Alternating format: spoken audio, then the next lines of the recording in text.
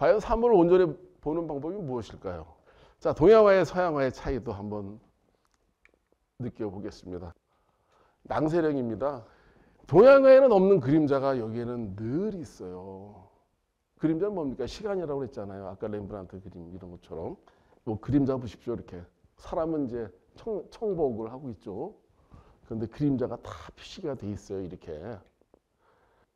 자, 어떤 것이 정말 자연을 잘 담는 방법일까요? 이게 겸자라고 써 있죠. 위 아래도 있고 저 위에서 본 것 같기도 아래서 본 것 같기도 하고 멀리서 계속 보고 있어요. 이렇게 시점에서 자유롭습니다. 움직이는 시간을 얼마나 어, 잘 들어가는지 생각을 해보고 벌어진 세계를 가져오는 방식이 달랐다라는 얘기입니다.